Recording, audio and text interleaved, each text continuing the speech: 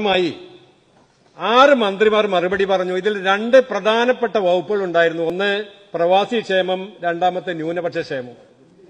ഇന്നലെ എല്ലാ കുഞ്ഞു വകുപ്പുകളെ പറ്റിയും വളരെ ദീർഘമായി എല്ലാ മന്ത്രിമാരും സംസാരിച്ചെങ്കിലും ഈ രണ്ട് പ്രധാന വകുപ്പും കൈകാര്യം ചെയ്യുന്ന മുഖ്യമന്ത്രി സഭയിൽ ഉണ്ടായിട്ടും സാർ ഈ വകുപ്പുകളെ പറ്റിയോ ചെയ്യാൻ ഉദ്ദേശിക്കുന്ന കാര്യങ്ങളെ പറ്റിയോ ഒരക്ഷരം ഉരയാടിയില്ല മാറ്റി മന്ത്രിമാരും പറഞ്ഞില്ല.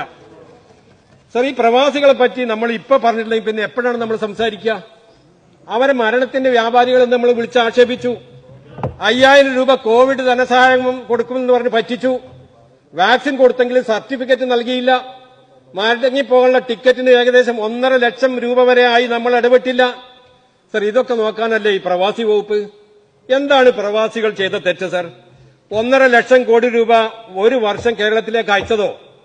നാട്ടിലെ അമ്പലങ്ങൾ പള്ളികൾ ക്ലബ്ബുകൾ എന്നിവയും സാധാരണക്കാർക്ക് വീട് വെക്കാനും ചികിത്സക്കും കല്യാണത്തിനും സഹായിച്ചതോ? കോവിഡിന്റെ ആരംഭകാലത്ത് വിദേശത്തുള്ള എല്ലാ മലയാളികളെയും സ്വന്തം ജീവൻ പോലും തൃണവൽക്കരിച്ചുകൊണ്ട് നാട്ടിലേക്ക് കയറ്റിവിട്ടതോ? അതോ അവരെ പട്ടിണിക്കിടാതെ ക്യാമ്പുകളിൽ നല്ല രീതിയിൽ സൂക്ഷിച്ചതുകൊണ്ടോ? മന്ത്രിമാരടക്കം സർ അവിടെയുള്ള സംഘടനകളല്ലേ ചോദിച്ചിരുന്നത്? സർ എന്തിനാണ് ഈ നോർക്ക? പ്രവാസികളുടെ ശരിക്കുള്ള നോർക്ക അതായത് അവിടുത്തെ കെ പോലുള്ള സംഘടനകളാണ് സർ. സർ നമ്മൾ ഇപ്പോഴല്ലേ അവർക്ക് സ്വാതന്ത്ര്യം പകരേണ്ടത്? ഇന്നലെ മുഖ്യമന്ത്രി സഭയിലുണ്ടായിട്ടും ഒരക്ഷരം അവർക്ക് വേണ്ടി മിണ്ടാത്തത് വലിയ തെറ്റായി പോയി. പ്രവാസികൾ ഇത് ക്ഷമിക്കുമെന്ന് എനിക്ക് തോന്നുന്നില്ല സർ.